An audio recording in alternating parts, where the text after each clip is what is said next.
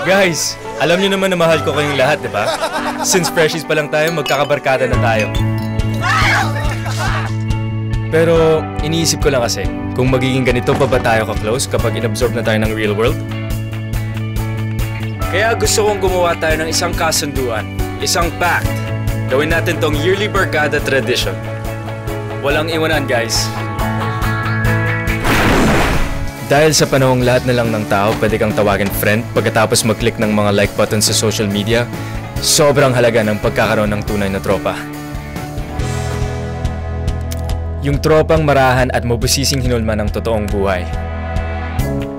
Mga kasama ko sa hirap at ginhawa, sa kalupitan at pag-ibig.